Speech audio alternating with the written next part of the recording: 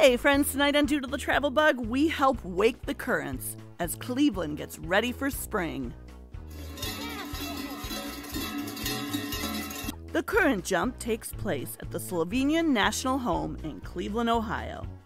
The Kurent jump is the festival before the big festival, Kurentovanje.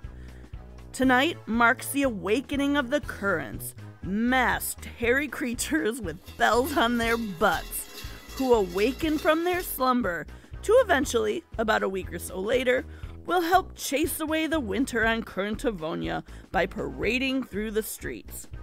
But that's in the near future.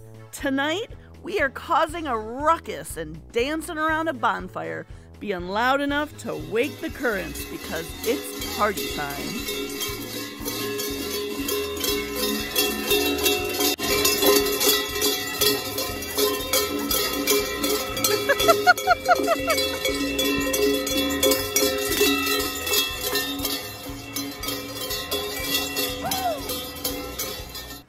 This is an adult only event. Look, they have their own beer.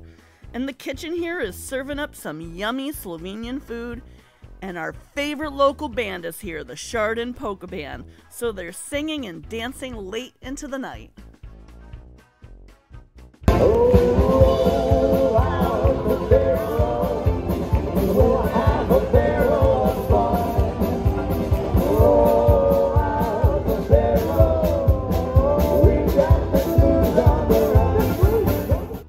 More unique travel shows, like and subscribe to see where Doodlebug goes next.